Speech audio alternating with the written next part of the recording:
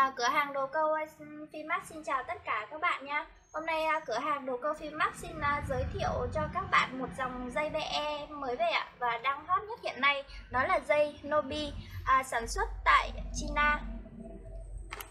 Màu sắc ở bên ngoài là màu đen, nhìn rất sang. À, Thì dây nó được à, sản xuất tại à, China nha mọi người.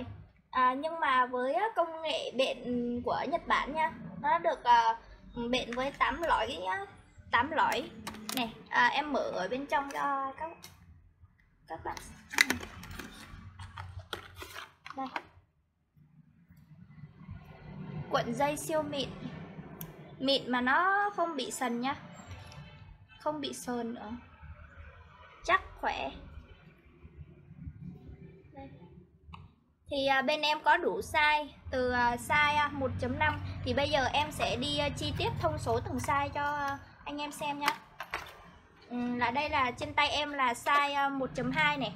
À, chiều dài thì tất cả là 150m nha. À, 0.19 mm với 20 lb thì cái này chưa ra thì chắc tầm tại cá được tầm dưới 9 kg ạ.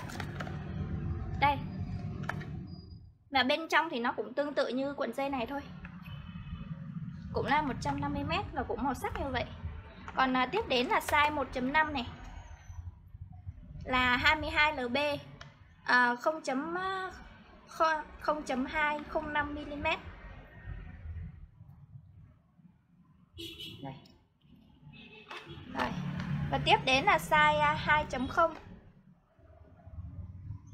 là 0.23 mm và 29 lb thì cái này tải được tầm 13 14 kg đổ lại. Chung là cái dòng dây này thì rất là chắc khỏe. Và mịn nữa. Thì uh, mấy cái size nhỏ thì uh, anh em ta chuyên ờ, uh, lua lóc hoặc là lua chẻm còn size lớn thì uh, mình có thể uh, câu tra cũng được.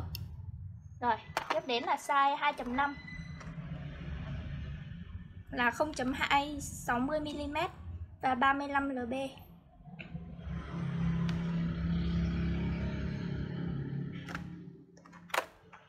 này tải tầm uh, 67 kg rồi đến uh, size uh, à, và size cuối cùng đó là size 5.0 nha. Là cái này là 0.37 mm và 70 lb tải là tầm uh, 30 kg đổ lại luôn đó anh em. Nói chung là cái dòng dây này uh, nó đang hot nhất á. Rất được nhiều uh, khách hàng bên em tin dùng luôn ạ. Đối với à, thương hiệu của Nhật Bản thì không chê vào đâu được rồi ạ. À, mẫu dây này nó đang hot và có số lượng có hạn tại à, cửa hàng đồ câu Max.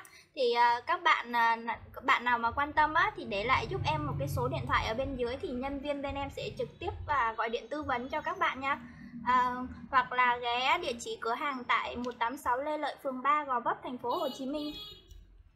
Thì à, cảm ơn các bạn đã quan tâm à, đến à, video của cửa hàng đồ câu Vinmax nha. Hẹn các bạn à, à, ở các video tiếp theo ạ.